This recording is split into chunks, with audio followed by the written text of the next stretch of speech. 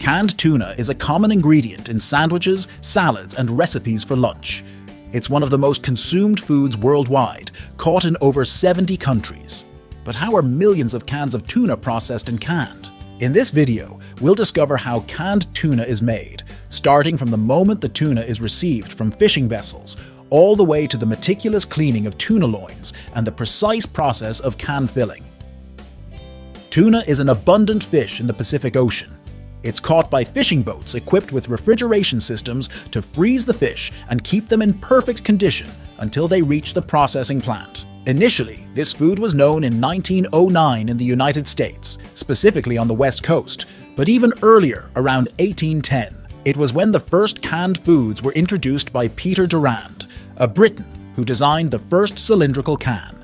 Therefore, in the 20th century, a company named Salica from La Coruña Spain began manufacturing canned tuna.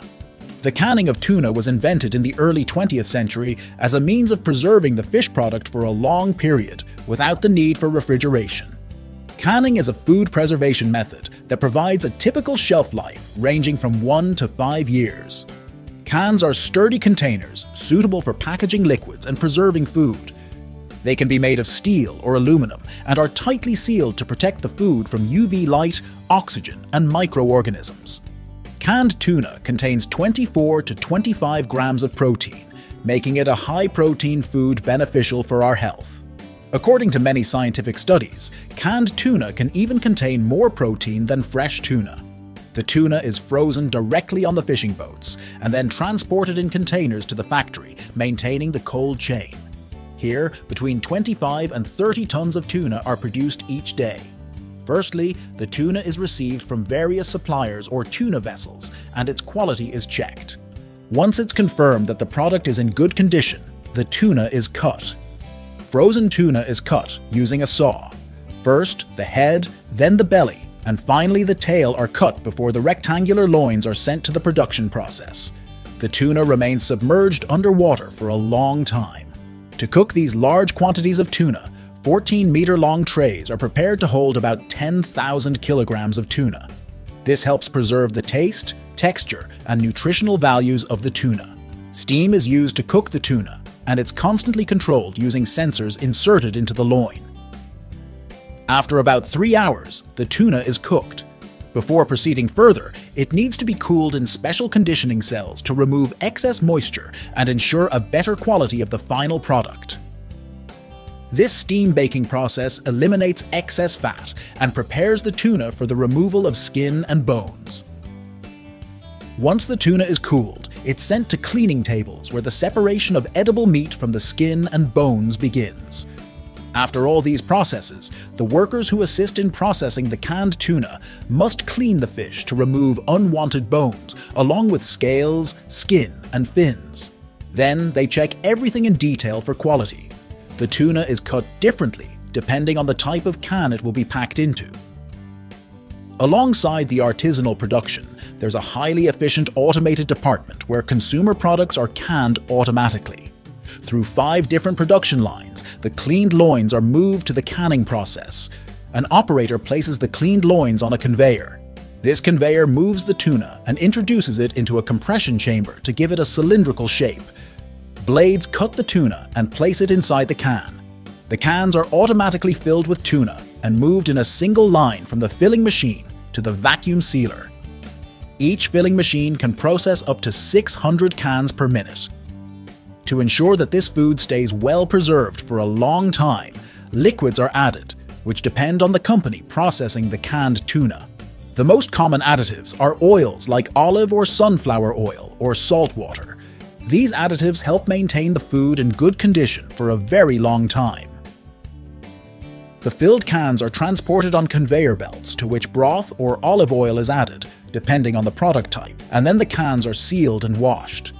Subsequently, the lids are automatically closed at the top of the can before entering the vacuum sealer, where air is extracted and the lid is tightly sealed. This process requires real-time monitoring by humans to ensure perfect can seals.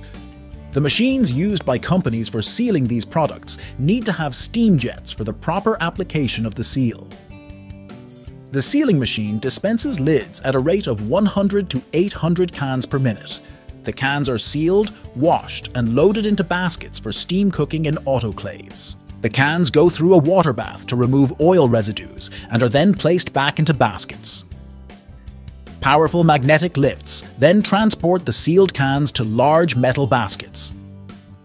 These baskets are loaded 12 at a time into huge pressure cookers where the fish is cooked and sterilized. These ovens can cook up to 12,000 cans at once. Simultaneously, the products placed in special baskets move to the next stage, one of the most delicate, as it involves sterilization within enormous steam autoclaves. This process is carefully controlled using thermography to ensure the product is sterile and durable. After completing this process, the hot canned tuna undergoes a thermal process that extends its shelf life. As the cans exit the autoclave, they are hot and are given a cold water bath to regulate the temperature, ensuring they won't have issues upon reaching supermarkets. The sealed cans are placed in steam sterilization chambers to kill any bacteria that might damage the product. Bacteria can be present both inside the can and on the food, so proper sterilization is necessary. Once the sterilization process is complete, the hot cans are washed and cooled with cold water. After sterilization, the sealed containers prevent microorganisms from entering and growing inside. Following the cooking time, the sterilized canned tuna is removed from the basket, transferred to a cooling area, and then sent through an X-ray machine that checks for bones or metals. Only after passing this inspection are the cans labeled. Once the cans have cooled down, they are labeled the day after packaging.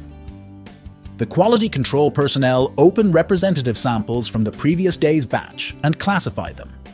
After sterilization, samples from each production batch are taken for thorough and meticulous laboratory tests. This is the final step in the canned tuna manufacturing process. The cans will be labeled with product information. The cans of tuna are packed into cardboard boxes and are ready to be shipped worldwide. Before delivering the cans of tuna, manufacturers always perform one last check to ensure there are no compromised canned tuna products. Some manufacturers will keep the cans for a period to check if any are swollen. Damaged cans will not be released to the market. This is the process of making a delicious can of tuna. If you want to know how sheep's wool is converted into clothes, watch the video on your screen. Like the video if you have enjoyed it and share it with your friends. Also, subscribe to this channel by activating notifications to keep learning. Thank you for watching.